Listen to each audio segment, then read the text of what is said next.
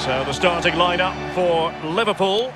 Alisson gets the nod in goal. Virgil van Dijk plays alongside Joel Matip in central defence. Diogo Jota plays with Mohamed Salah out wide. And rather than use a strike partnership, they've gone with just the one player in attack.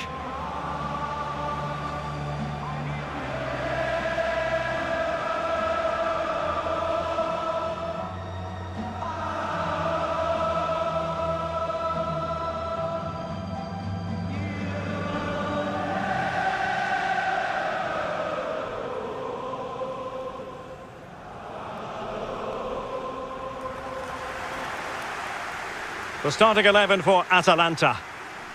Well, there's no great mystery, is there? We know normally how they're going to play, and it's all about applying as much pressure as possible. Lee, can we anticipate seeing more of the same today? Yeah, absolutely, Derek. If you're really good at something, then why not? They're very good at this.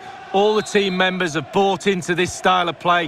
One player slacks off and it all falls apart, though.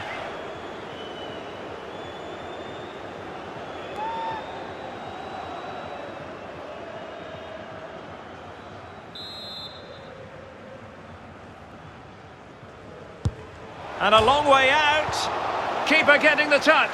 Oh, too much elevation. Couldn't keep it down.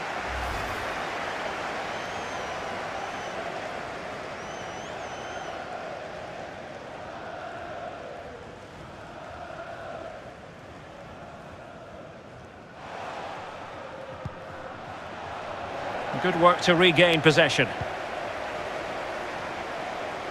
Can he put them ahead? And the post getting in the way. And the counter-attack is on, options available.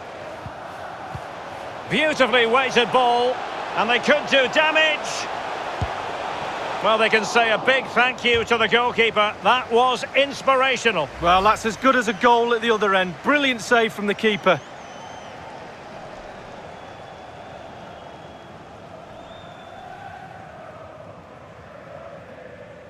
So this group stage confrontation is over.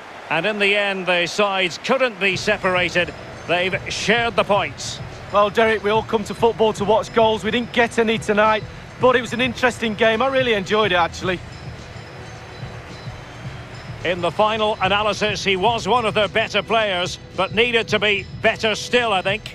Well, sometimes you lose that fight against your individual opponent. That was the case today for him. Just totally outclassed, didn't really get into the game. Needs to do better next time out.